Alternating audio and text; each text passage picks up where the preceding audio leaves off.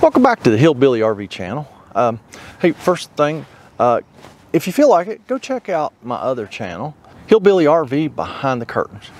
It's just pretty self-explanatory. That's what goes on behind the scenes at Hillbilly RV. A couple videos ago, I tried to show y'all how I would test a GFCI outlet on a bench. We got it all set up, wasn't anything wrong with the outlet. That outlet came out of this camper. I told y'all on that video I hope the guy didn't call back and say, hey, guess what? Well, guess what? He called back and he said, hey, guess what? so uh, the outlet that I replaced in the bathroom will would not stay reset. The one he replaced outside here at the at the rear kitchen, it would not stay reset. So um, that was uh, yesterday. So I'm here today and uh, well, we're gonna see if we can figure out what's going on. Funny thing is, when I get here, he tells me that uh, on the pedestal in the campground, there's a GFCI outlet there and it is also tripping now. So we've got three separate GFCI outlets, three separate circuits, two, two separate circuits in the camper, one outside the camper, all doing the same thing. Now, I thought before I got here, before I found out the one on the pedestal is also tripping and won't stay reset, that I was just going to go to the uh, panel box inside the camper and check all the wires in there and make sure we didn't have a loose wire. It's not, not uncommon at all to find several loose wires in a panel box. It's not where we go first. Typically, we got a GFCI that won't reset. We take uh, the black wire off the back, check to see if we actually have a ground fault. If we don't, then we got a bad outlet. Just like the other day, that's what I did. We replaced the outlet, it reset and worked just fine. So we figured we had it, right? But no, we've got something else going on here. I still think I'm gonna go into the panel box inside the camper and just check all those wires. And then we're gonna go out to the pedestal probably and see if we can see what's going on. We're also gonna check out the shore cord. Uh, this probably, I haven't looked, but this probably has a detachable shore cord and there's problem areas there. So let me grab a few tools. We'll go inside. We'll see what's going on.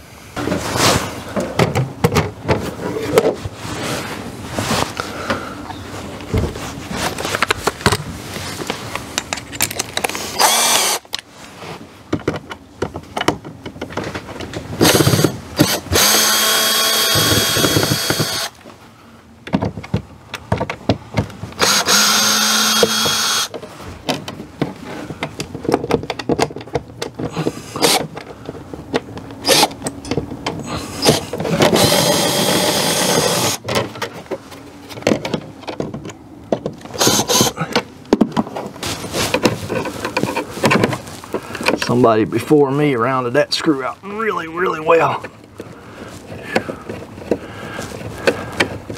Didn't begin to move. Always love when they do.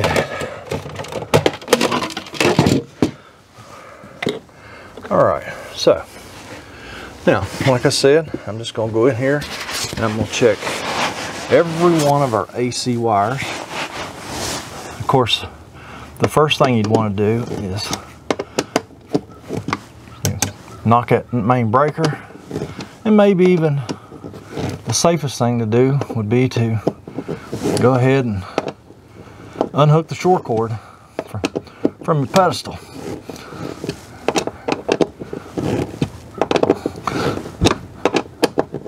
Of course, you know, I didn't do that, but I'm telling you that's what you should do because it would be the smart thing to do. Nobody ever said I was smart.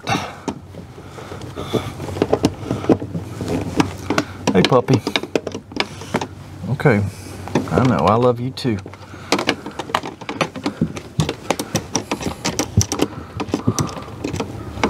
Hmm. That's odd. There's something you don't see every day.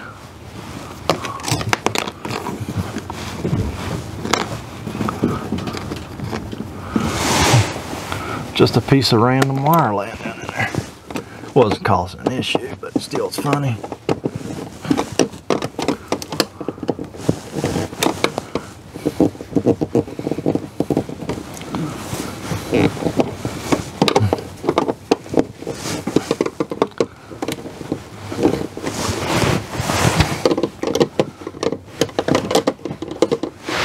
All right, checked all the neutrals, all the grounds. Was one neutral wire that was just a little bit loose, but uh, not bad at all. Now I'm gonna check the hots. I've got one breaker that's turned off. I just noticed. One, two, three, four, five, six. One, two, three, four, five, six. That's the water heater. Okay. That seems odd, but okay. So I'm gonna go underneath these breakers and check all these wires too. So I need to get down here where I can see what I'm doing, which means y'all gotta get out of the way. No smoking guns there. Didn't find anything really loose. One neutral wire, one hot wire, just a little bit loose. So that's pretty good actually. Because usually we find a lot more than that. All right, well, so like I said, everything looked good in the in the panel box. So let's go out here to the pedestal. Because I'm really suspicious of the pedestal, especially since the customer says there's an outlet on the pedestal that does not want to reset. So that's three separate circuits, two in the camper, one is not even in the camper that's having a problem. So uh, let's see, see what we can figure out here. So here's that GFCI that's in the uh, in the pedestal. Like I said, customer said it didn't want to reset either. Of course, while I'm here, it reset just fine, of course.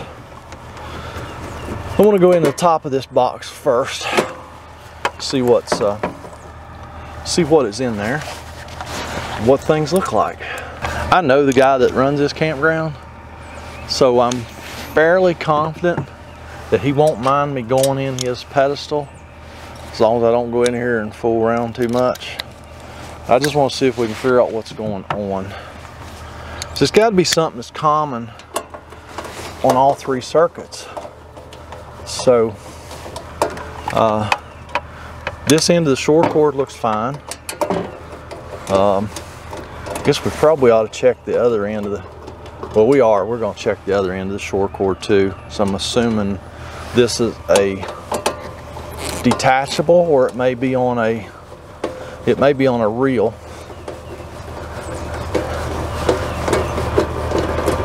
We're to check it out also. I just want to go in here real quick see what things look like in here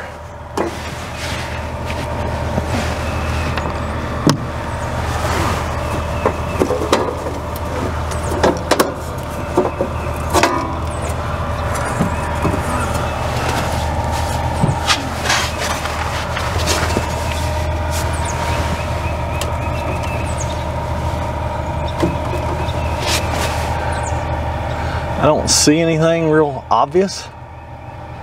Nothing looks burnt. Nothing looks like it's been hot. Uh, the neutrals are down in the bottom though, I guess. So I'd kind of like to see, I'd kind of like to see the neutrals and the grounds, see what they look like.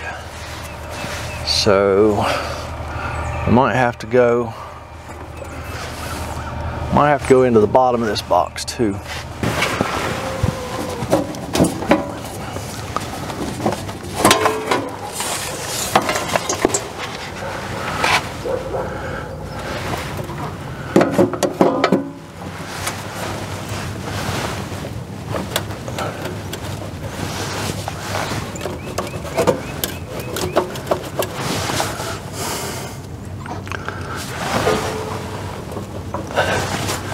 Well, once again, I see nothing super obvious.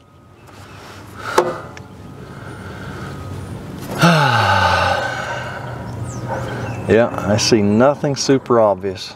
I think it's time to call the campground owner, see if we can kill the power to this whole pedestal, and I just go in there and see if everything's tight in that pedestal.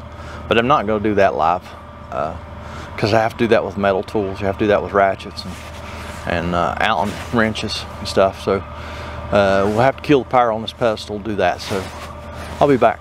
Before we call the campground owner, I just look up here and I see that uh, this is a detachable shore cord. Let's look at this end of the shore cord. And everything looks awesome in there too. Both ends.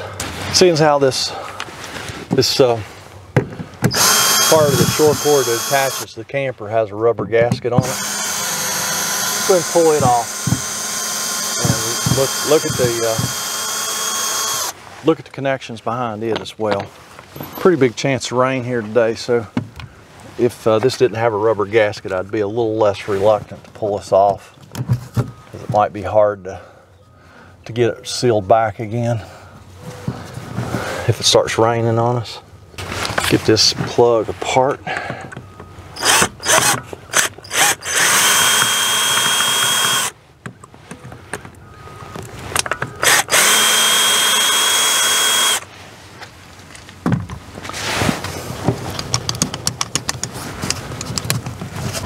Everything looked great in there too. So I don't know. We're gonna have to go into this pedestal, see if we can figure out what's going on. Well, that was uneventful. Uh, the campground owner came over. We killed the power of that pedestal. I went in a pedestal, checked all the connections. A couple of them were really loose. I thought, ah, we found it. But we still have one GFI that will not reset. And I tested it again. There is no ground fault. Why won't that thing reset? I don't know. Um, but we seem to have an intermittent issue of some kind because uh, sometimes the outlets will reset, sometimes they won't. I don't know what's going on. Uh, the customer, you know, at this point, I've checked all the connections that I can check. Uh, I've checked all the connections. I can't check, I can't check the cables, the wires in the middle, but I've checked all the connections I can check. Everything's cool. Found a few loose things. A couple of them things in the pedestal were really loose. There was one hot wire that was really loose. There was one neutral that was really loose. Um, those would have been causing problems in the near future, I would say. So we got those took care of, but I still, I cannot figure out why that, we got one GFI that won't reset right now. Uh, I can't figure it out. So customer is going to take and try and notice if there's any common, you know, any common thing that happens when, when he's having trouble with these outlets. See if we can figure it out that way. I don't know what else to do. Um, so anyhow, I'm gonna go up the road and probably not fix another one like this one. And um, y'all have a fantastic day.